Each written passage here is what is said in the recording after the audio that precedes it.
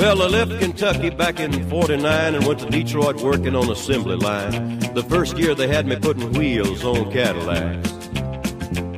Every day I'd watch them beauties roll by and sometimes I'd hang my head and cry. Cause I always wanted me one that was long and black.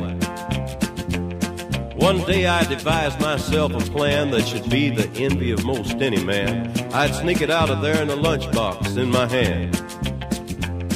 Now, getting caught meant getting fired, but I figured I'd have it all by the time I retired. I'd have me a car worth at least a hundred grand. I'd get it one piece at a time, and it wouldn't cost me a dime. You'll know it's me when I come through your town.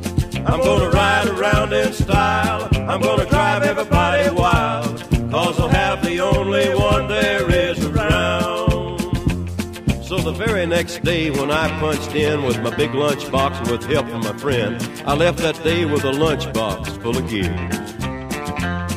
I've never considered myself a thief, but GM wouldn't miss just one little piece, especially if I strung it out over several years.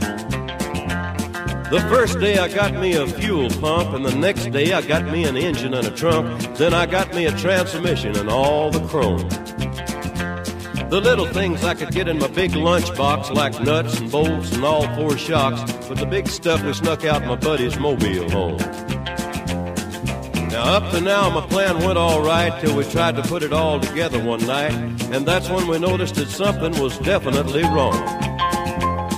The transmission was a 53, and the motor turned out to be a 73, and when we tried to put in the bolts, all the holes were gone. So we drilled it out so that it would fit, and with a little bit of help from an adapter kit, we had that engine running just like a song. Now the headlights, there was another sight. We had two on the left and one on the right, but when we pulled out the switch, all three of them come on.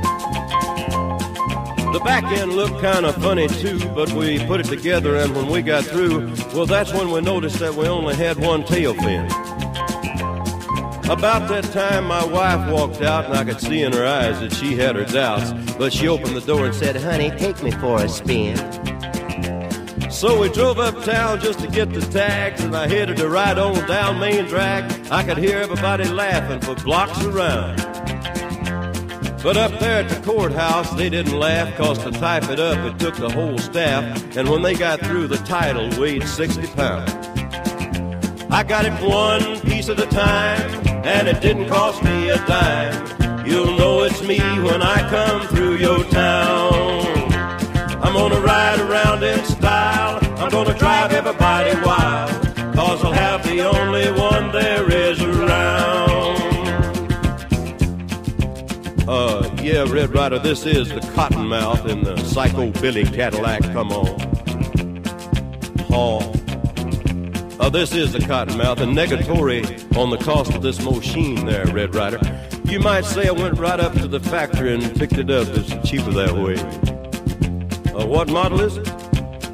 Well, it's a 49, 50, 51, 52, 53, 54, 55, 56, 57, 58, 59 automobile. It's a 60, 61, 62, 63, 64.